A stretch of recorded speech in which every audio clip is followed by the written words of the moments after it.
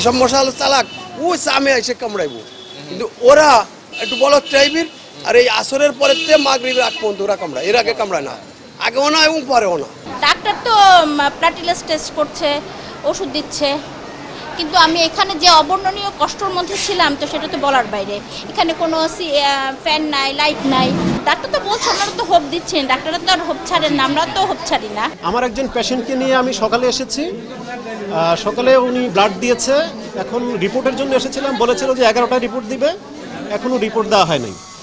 আর এই এই যে জ্যাম, মানুষের এই যে জট ব্লাড দেওয়ার জন্য সেটা সেই সকাল থেকেই।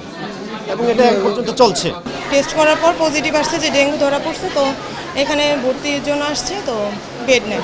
তারপর আমরা আরও চার পাঁচটা হসপিটালে বেডের জন্য কোনো জায়গায় বেড নেই।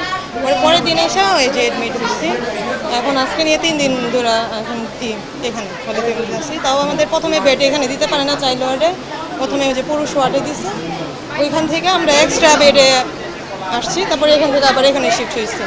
মানে খুব রুগী নিয়ে এত দৌড়াদৌড়ি করলে রুগী আরও অসুস্থ হয়ে যায় মানে বেড পাওয়া যায় না, কিছু পাওয়া যায় না, অবস্থা আর এত চঞ্চল বাচ্চা, তো এখন খাওয়া দাওয়া করতে চায় না এই করতে চায় না, হাতে স্যালাইন দেওয়া, ক্যানোলা দেওয়া, এগুলো নিয়ে অনেক মহাবিপদে আছে।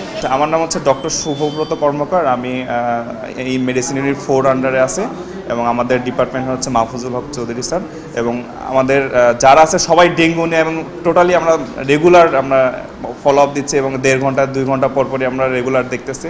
এবং এটা আমাদের জন্য একটা পজিটিভ দিতে আমরা ডক্টররা তো ইফোর্ট দিচ্ছে, কিন্তু আমাদের, আমার গভর্নমেন্টের প্রতি এবং আমাদের উত্তর সিটি কর্পোরেশন দক্ষিণ সিটি কর্পোরেশন তাদের মেয়র যারা, সম্মান্য মেয়র আছে, তাদের প্রতি আমার অনুরোধ থাকবে যে মশা নিধন যাতে এটা দ্রুত করা যায়। কারণ আমরা তো ট্রিটমেন্ট দিচ্ছি, যেগুলো রুগী হয়ে আসতেছে, কিন্তু এটা প্রিভেনশনটা আগে দরকার।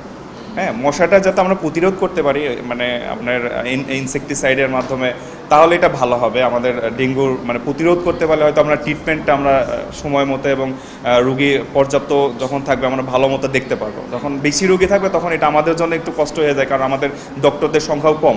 হ্যাঁ এত কম সংখ্যক ডক্টর নেই, এত বিশাল জনগণ, এত হিউজ পপুলেশনকে ট্রিটমেন্ট দেওয়া একটু কষ্টকর আমাদের জন্য। তারপর আমরা চেষ্টা করতেছি মানে খুব দ্রুত এবং অ্যাডজাস্ট ট্রিটমেন্টটা দেওয়ার জন্য।